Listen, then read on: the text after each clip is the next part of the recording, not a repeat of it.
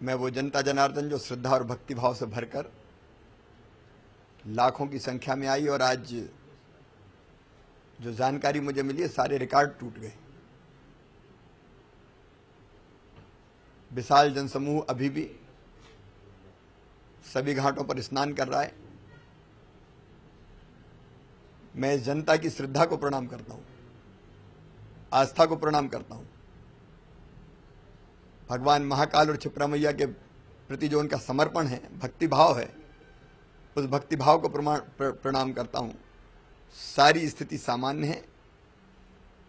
आज एक बात और मैं कहना चाहता हूँ कि जिन जवानों की ड्यूटी चाहे वो होमगार्ड के हो साधारण सिपाही हो बाकी जवान हो या हमारे कर्मचारी हो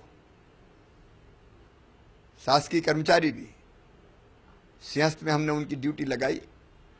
मुझे कहते हुए खुशी होती है कि उन्होंने केवल नौकरी जैसी अपनी ड्यूटी का अंदर बहाने किया। उनका समर्पण, उनकी निष्ठा, उनका परिश्रम देखने के लायक है।